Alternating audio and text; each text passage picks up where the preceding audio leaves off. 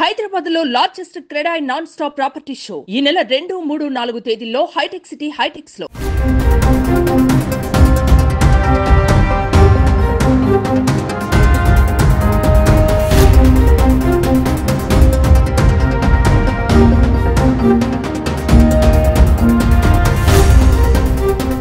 Breaking news చూస్తున్నాం Visakhapatnam railway స్టేషన్లో భారీ అగ్ని ప్రమాదం చోటు చేసుకుంది. కోర్బా నుంచి విశాఖ చేరుకున్న రైల్లో మంటలు చెలరేగాయి. ఆదివారం ఉదయం పది గంటల సమయంలో నాలుగో నెంబర్ ప్లాట్ఫామ్ పై రైలు ఉండగా ఏసీ బోగీలో మంటలు ఎగిసిపడ్డాయి. ఒక ఏసీ బోగి పూర్తిగా కాలిపోగా మరో రెండు బోగీలు పాక్షికంగా మంటల్లో చిక్కున్నాయి. బోగీల్లో మంటల కారణంగా దట్టమైన పొగ స్టేషన్ మొత్తం వ్యాపించింది.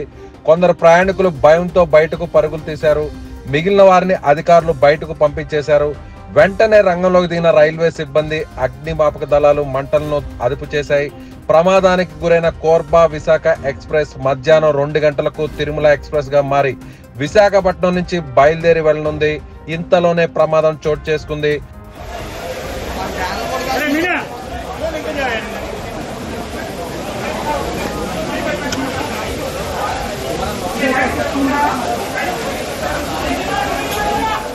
అయితే ప్రయాణికులు ఎవరూ లేని సమయంలో స్టేషన్లో ప్రమాదం సంభవించడంతో అంతా ఊపిరి పీల్చుకున్నారు.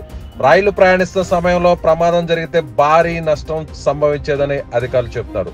ప్రస్తుతం మంటలు అదుపులోకి వచ్చాయి. ఎలాంటి ప్రాణ నష్టం లేనట్టుగా అధికారులు చెప్తున్నారు. అప్పుడు ప్రయాణికులు ఎవరు లేరండి. ప్రాణ నష్టం జరగలేదు. ఎవరికి గాయాలు తగలలేదు. ఇప్పుడు దర్యాప్తు జరుగుతుంది.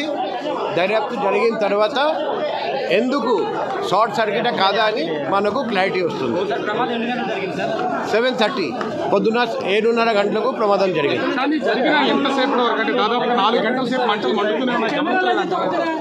ఎందుకంటే ట్రైన్ ట్రైన్లో ఇన్ఫ్లమబుల్ మెటీరియల్స్ చాలా ఉంటాయి. అందుకే మంట అదుపులో తీసుకురావడానికి టైం పడింది.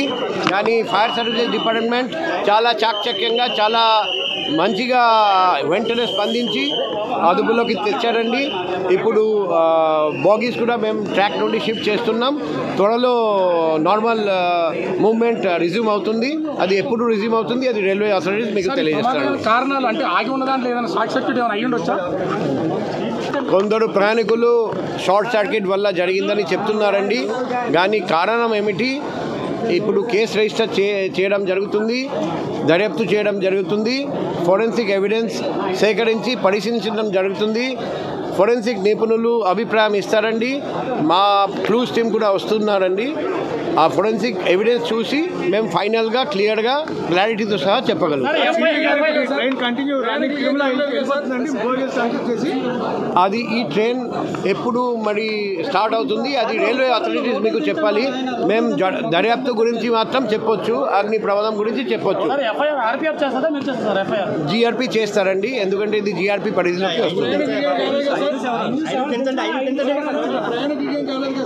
ఎవరికి ఎటువంటి ప్రాణ నష్టం జరగలేదు ఎవరికి గాయాలు తగలలేదు. ప్రయాణికులు లేరండి అప్పుడు ఖాళీగా ఉండేవి బోగీస్. అది నష్టం ఎంత జరిగింది అది రైల్వే అథారిటీస్ వాళ్ళు అంచనా వేసి మీకు తెలియజేస్తారు.